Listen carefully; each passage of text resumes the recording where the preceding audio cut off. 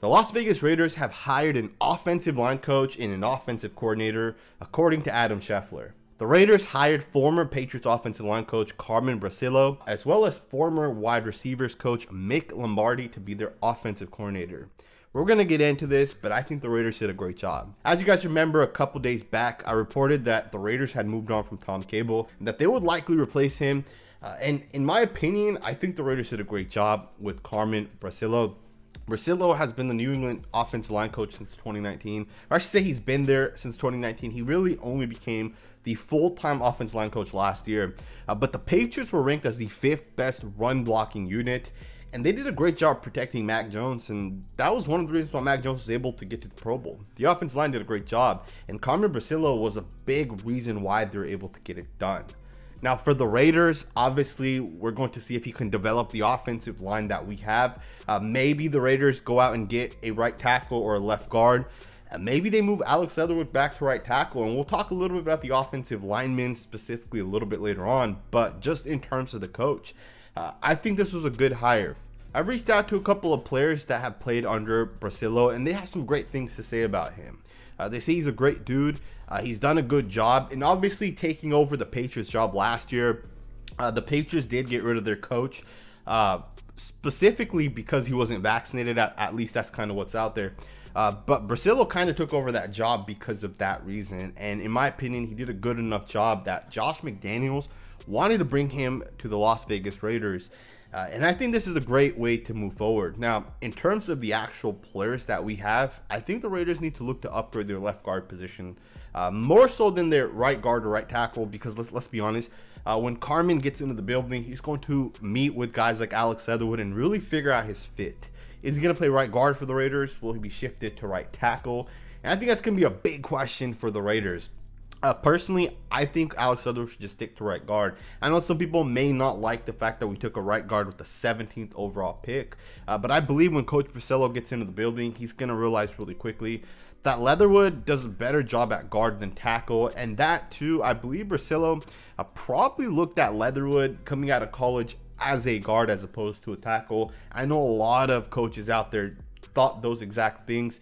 Um, but I think the Raiders are in a great spot with their offensive line coach. Uh, Tom Cable, in my opinion, really made a wrong decision by keeping Brandon Parker in. I think with Coach Bricillo coming to the Raiders, now you have to decide who's going to be here and who's not. Uh, one of the things that kind of sticks out to me is the fact that Trent Brown is a guy that Bricillo brought in. He's a guy that was with the Raiders in the past. I know some fans don't necessarily like Brown. Uh, but even a guy like Jermaine Eluemunor, right? Eluemunor was with the Patriots and then he came to the Raiders. So could he be a target to play right tackle? Now, for the Patriots, he played right tackle. He was their right tackle. Uh, and then obviously he left New England and he came to the Raiders last season. Uh, so it'll be very interesting what the Raiders do with that right tackle position.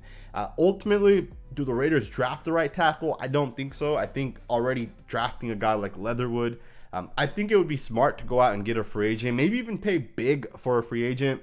Left guard will be a big one. I think we can draft someone at that position. Uh, but just switching uh, focus a little bit and talking about Mick Lombardi. Uh, you know, Lombardi has a, a lot of um, he has a lot of ties to the Raiders. In fact, I was reading an article just a little while ago about how Al Davis used to call to talk to his father, and Mick used to answer the phone and, and he would pick Al Davis's brain. And you know, it's very interesting because he's 33 years old.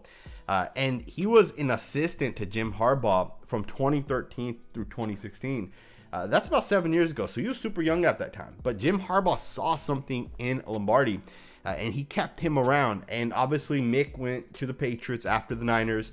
Um, and he had a couple other jobs as well. But he's a young guy that some people say he could be a head coach. He's a candidate to become a head coach in the future. Um, but I do think that he brings some creativity to the Raiders. You know, Mac Jones had so much success last year, and a lot of his success comes from the fact that Josh McDaniels, Mick Lombardi, among some other guys, are able to draw things up. And those are the types of things that I'm excited to see if the Raiders can bring over. I'm excited to see what Josh can do with this team. You know, we already have a really good quarterback. We have some good weapons, some a, a young up and coming offensive line, the second youngest overall team in the entire league.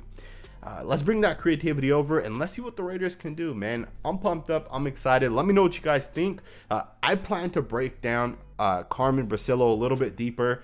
Uh, to kind of look over some of the tape from the New England Patriots and kind of look at their blocking schemes. Um, I do know that uh, we'll primarily be doing a, a, power run, right? That'll be kind of what we're all about, that gap blocking. So it'll be exciting to see.